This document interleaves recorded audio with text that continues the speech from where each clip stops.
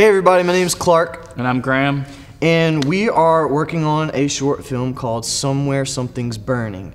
So the film's about a family who lives in a very isolated rural environment and they are dealing with the grief of losing the patriarch of their family. They're also dealing with the harshness of uh, winter.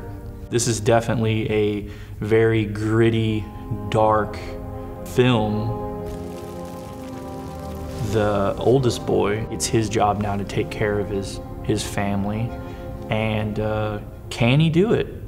Really, the film is going to look at how depression and grief, how those two things are kind of intertwined together, and also, um, is there any hope? Can you come out of that? People need to know that there is hope.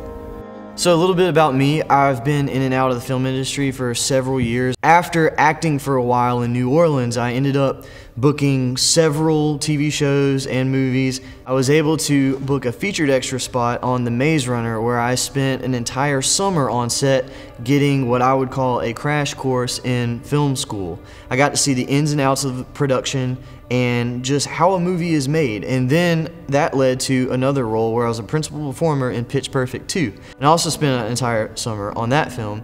And I plan to use all of my knowledge about production, acting, music production, film production, directing, stage lighting, design, all of these elements I want to bring together to craft this film and make an amazing film that everybody can relate to.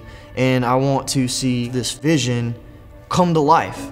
We're gonna be shooting this in central Louisiana in the middle of the winter. It's gonna be rough, it's gonna be tough. We're gonna be out there in the cold for long days. Um, last year, we directed our first short film called Shadows and we also shot that in the middle of Louisiana in the woods in the freezing Mm-hmm. cold. Mm -hmm. A few of the things our budget needs to go to, we want to be able to pay our cast and our crew. Uh, we're not getting paid. It's it's for them and for to reward them for the labor that they're putting into this. And we also want to give our audience and our viewers something valuable and we want to be able to make the best product possible. We have a full copy of the script that you can read on the Indiegogo page. This is a, a great script. Gra Graham wrote the script and I'm shooting it and I have a lot of experience directing actors and so we're gonna come together and make this happen. We also need to take care of catering for our cast and crew. We're going to be working some long days. This is going to be a long shoot. And we also have a few production needs that we need to cover. A little bit of camera gear, some extra lighting. We have some special effects elements that we need. A lot of the film is going to be outside in the elements.